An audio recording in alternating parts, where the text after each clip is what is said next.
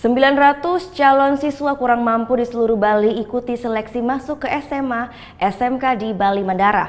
Ketatnya seleksi masuk sekolah ini agar anak-anak dapat berprestasi hingga ke tingkat dunia. Ratusan siswa kurang mampu atau kategori miskin di sekolah menengah pertama di seluruh Bali ikut seleksi masuk ke SMA SMK Bali Mandara di Desa Kubu Tambahan Buleleng. Siswa yang berasal dari keluarga miskin pun harus bersaing dari 900 siswa yang mendaftar untuk masuk ke sekolah yang terkenal akan prestasi dan pencetak manusia yang berkualitas di Pulau Bali. Tahapan seleksi siswa baru di SMA Bali Mandara ini pun tergolong sangat ketat yang dilakukan pihak sekolah, mulai tes tulis, mengunjungi keadaan rumah para calon siswa, serta tes wawancara yang dilakukan pihak sekolah serta pihak swasta. Dari jumlah 900 orang ini yang dinyatakan penuhi syarat mengikuti seleksi akhir sebanyak 269 calon siswa SMA dan 289 siswa sedang berjuang pada tahapan karantina selama tiga hari. Ratusan siswa ini pun nantinya akan berjuang untuk memperebutkan 128 kursi di SMA Bali Mandara dan 105 untuk kursi di SMK Bali Mandara.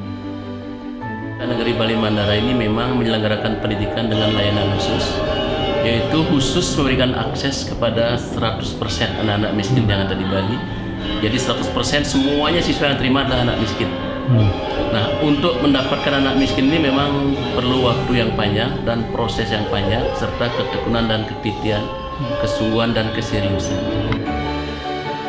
Meskipun dari keluarga kurang mampu, namun para siswa ini pun memiliki kecerdasan di atas rata-rata dari siswa lainnya di Pulau Bali.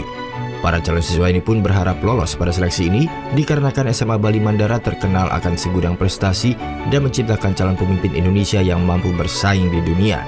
Motivasi saya ke sekolah sini karena saya ingin menjadi orang yang lebih disiplin dan karena saya ingin menjadi orang yang lebih uh, uh, maju ke depannya. Saya ingin menjadi orang sukses dan saya bisa membahagiakan kedua orang tua saya yang telah begitu banyak berjasa pada saya. Saya ingin mengubah nasib mereka.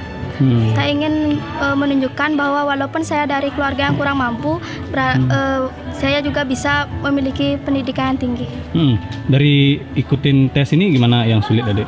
Uh, sebenarnya semua tes ini nggak ada yang sulit, tapi karena waktunya aja yang terlalu singkat, jadi uh, menjawabnya juga harus cepat. Uh, saya ingin mengubah taraf hidup keluarga menjadi lebih sejahtera lagi dari kehidupan sebelumnya. Hmm. Nah, di antara yang uh, adik ikuti tes itu apa yang tersulit?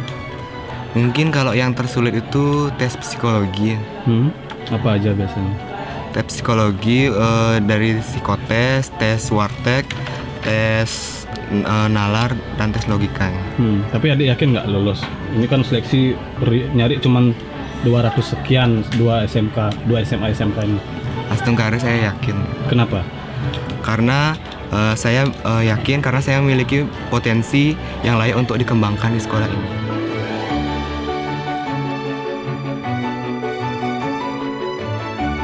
Selain memiliki segudang prestasi di bidang akademik dan teknologi, di sekolah ini pun para siswa digali bakat seni yang dimiliki.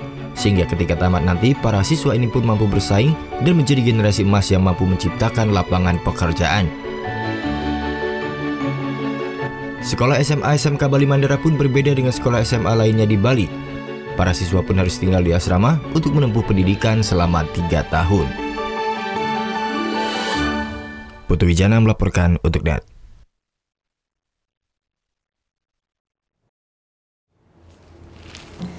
Udah selesai kan nontonnya? Nah, jadi jangan lupa buat like, komen, dan subscribe ya.